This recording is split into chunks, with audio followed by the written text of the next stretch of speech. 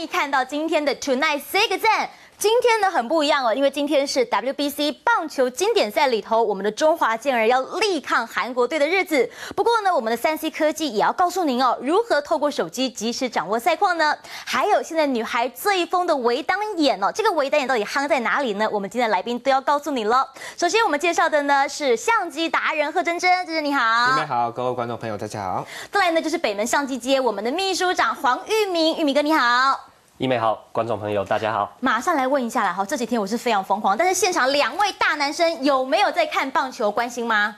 一定关心的，一定要关心的。而且今天对上的，大家今天很多人可能都已经刻。泡菜刻到辣到不行了。如果今天我们刚刚说跑到那个球场外面去卖辣炒年糕的话，应该赚翻了。因为今天看到我们的 Top Boy 就在告诉你哦，全台都在封棒球。可是如果说呢，您除了电视之外，有没有别的选择呢？你没有办法哦，定时坐下来，你可能要加班，可能在别的地方。有没有一些 A P P 哦，可以帮你及时掌握战况，让你身在哪里都可以帮我们的中华队加油呢？玉米哥帮我们整理了一些资讯呢，我们来看一下。呃，其实今年 WBC 啊，官方它有出一一套那个 Apple 可以用的 APP，嗯，你只要上网，哎，接上手机上网之后，透过这个官方 APP，它就能够看到即时的赛况。那即时的赛况包含比赛现场哦，但可惜我们人在台湾嘛，它只开放美洲地区，所以我们台湾。看不到即时转播，但是还是可以掌握比赛的最新状况。哦，不过呢，我们知道说，如果说你要是人在美国的话，你可以看得到的呢，就包含了可能我们这边是 Pro B 嘛，我们这边是 B 场嘛，但你在日本的 A 场的战况，你都可以及时看得到。但是如果说您想要帮中华健儿加加油的话，有什么方法呢？哦，我们玉米哥刚刚也提供了，这是一款 A P P 城市，叫做 CT Go。那目前呢，玉米哥这个是在所有的手机都可以下载得到吗？呃，这所有手机都下载。下载得到啊。那其实我们贺珍珍她也有装装在她手机里面，可以让。不过呢，我们先来看一下它里面到底是哦，在有什么样不同的功能。那当然了嘛，哦，因为呢这个 CT Go 里头哦，刚刚可以看到有一些呢简单的新闻讯息。那另外呢还有赛事分组最新的状况。阿姆跟我兄厉害一点，记得哦哦，他要用手来摇哦。而且我们现在到了这个棒球场来看，除了加油棒之外，大家可以把手机拿起来就能够当加油棒了。贺珍珍马上来现场示范一下，这怎么使用呢？那个使用方式很简单，那城市打开后，这边有个机器，这。点一下，然后这时候你就开始这样子摇，哦，就会有这种声音出来。就会有那个声音。我没有拿那个一枚棒子，我也可以要，也也是可以这样子去为中中国队加油。嗯，然后如果说，哎，可是这样很奇怪啦。哦，我们看到完成度，我从极细一直到完成，完成之后可以做什么？它上面其实是吼，这样每每摇一次吼，都可以充满一百八，可以有一些小礼物啦。那同时你一天都可以反复充好，可以摇好几次，为大家加油。所以说你在球场上，我们看到了，不管从第一局看到等于下半哦，想要加油的时候，随时摇，还可以随时帮你来抽礼物了。好，那因此呢，今天晚上。在 WBC 的赛况之外呢，当然了，如果说在家的话看电视嘛，用网络的话呢，在 HiNet 也有网络直播。不过手机的话就提供给您这样的方式喽。另外看到现在最热门的，还包括在德国的汉诺威举办的这一场 CBIT。我们看到的 Top Two，我要告诉您，在 CBIT 里头呢，这回台湾的厂商昨天跟您介绍过了，蠢蠢欲动。虽然说规模略小，不过我们厂商有找出新商机哦。首先来看到的就是华擎还有维新的部分。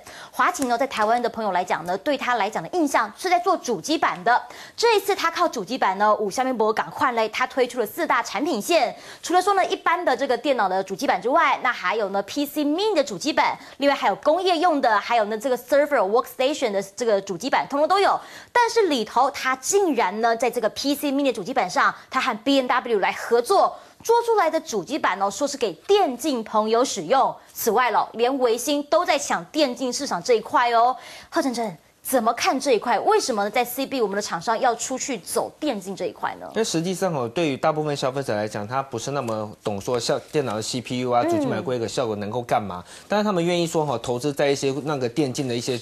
比赛的团体上面，这样子哦，透过比赛，然后丰富了游戏的声光效果，就可以不用输出很多数字，他只要简单的看，哎，这个主机板，这个主机啊，这个游戏效果不错，基本上可以达到非常好的宣传。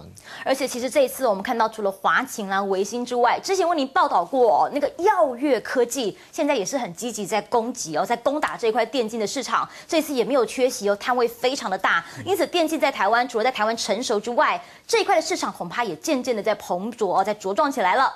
但是呢，Top Three 哦，这是懒人的福音了。您觉得说在当个低头族很辛苦吗？现在眼睛动一动哦，因为呢，在三星一月份的时候就已经向欧洲申请了眼球滚动技术。上个月呢，这个技术同样在美国已经获得了专利。它可以怎么用呢？眼睛可以去对准荧幕的这个平胶哦，就可以跟它来这个准这个滚轴哦，可以上下左右移动。可是玉米哥这样子来讲，它的好处实际上在哪里？好，这个其实眼球滚动的好处就是我们可以练眼睛啦，练眼睛，练让我们脑子更聪明。眼睛动动越快，我们脑子越聪明。那其实上呢？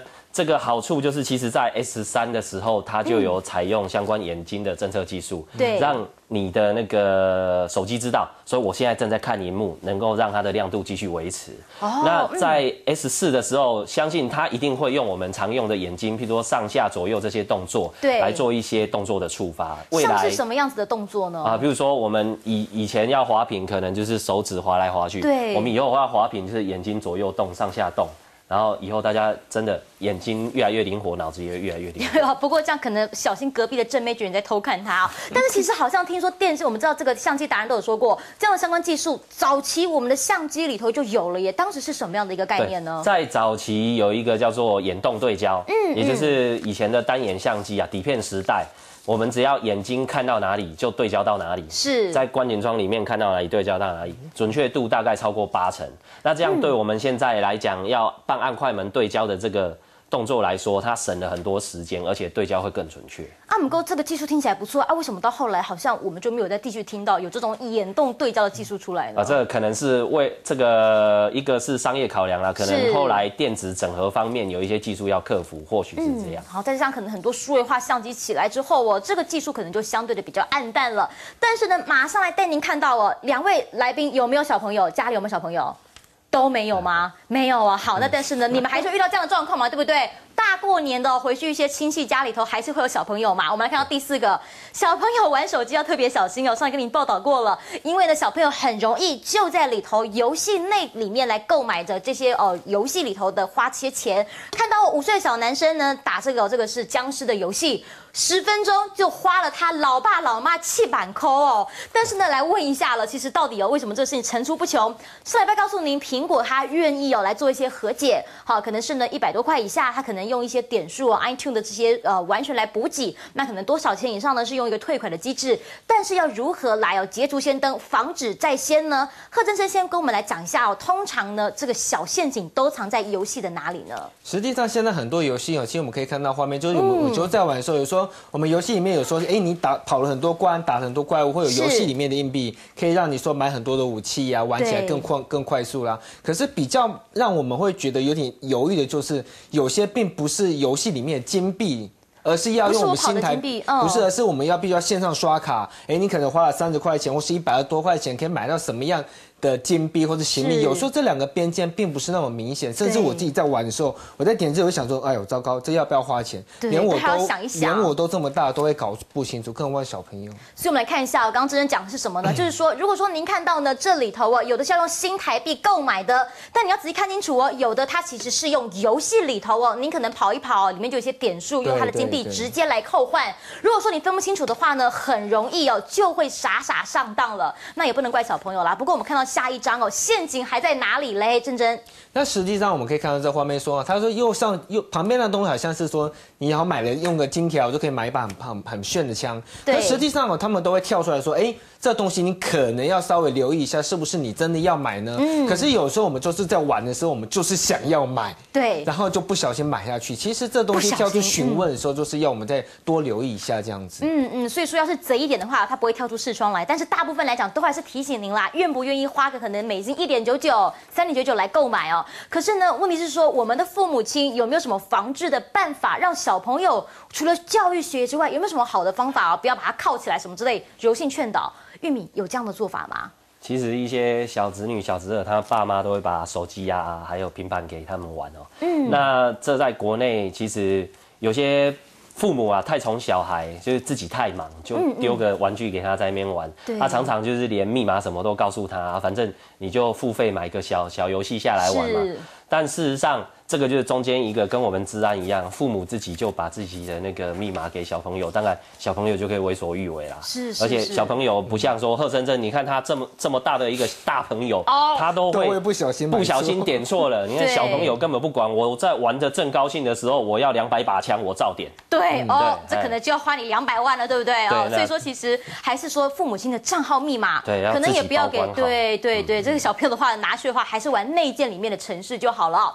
好，那所以说呢，两位。现在呢，我们来举个暂虚牌，因为呢，坦白说啦，很多人呢都在讲说，教育这条路里头，要不要让小朋友来玩 PC 或者是电脑的游戏呢？会不会因为平板的游戏、手机的游戏有这样子的付费陷阱，就会阻止小朋友玩呢？这样偏激的做法，你们赞不赞成？会禁止小朋友来玩类似的游戏吗？我们来举个暂虚牌哦，三、二、一，哎哎哎哎哎哎哎，真真是真真是赞成禁止啊！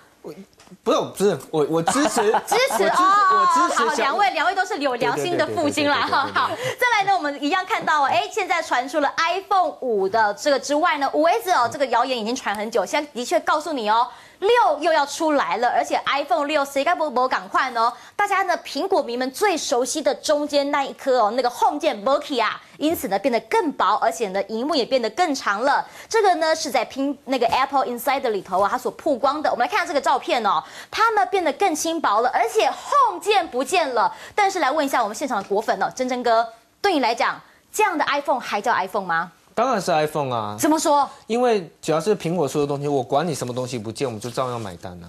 这个这个说法你也太铁粉，是僵尸粉吧？玉米哥来吐槽一下，怎么会有这样的想法？这这想法真的不大好啦，因为那个 Home 键不见了，很多事情你就回不了家啦。啊，那我们相信他总是会到时候有一些取舍、一些改变啦。是是是，我们相信他会做得更好。这样子哦，那但是你会觉得说 iPhone 六它会不会是苹果呢？现在我们知道股价喋喋不休哦。真正会不会觉得这一只手机出来之后可以重回雄风呢？能不能靠这只手机？其实，但是因为苹果它真的是说市场上它 iOS 就他们那一只在做嘛，所以说大家对于它赋予高度期望时就很正常。但是至于说实际上真的出成这个样子的话，我相信我们都会相信苹果设计跟它软硬体实力啊，这倒不用担心。这样子哦，不过呢，我们知道说他们今年有讲啦，二零一三年会有一个新世代跨世代的这个产品哦，目前大家还在猜会是 ITV。还是呢，iPhone 六还是 iWatch？这样看起来，玉米哥，你的想法是什么？这时代其实不会那么早到来啦。对，我们自己的数位化还在努力。嗯哼。那其实虽然我不是果粉啦，但是我其实蛮蛮看好 iWatch 的发展。哦，所以说 iWatch 哦，现在看到一些面板厂商啦，这些产业链哦，已经都有新闻出来了。好，但是呢，各位朋友们，请您稍息一下哦。我们呢，之后回到新闻现场，告诉您什么东西让女孩子为之尖叫呢？当然不是您帅气的脸庞哦。这个微单眼，稍后带您一起来认识。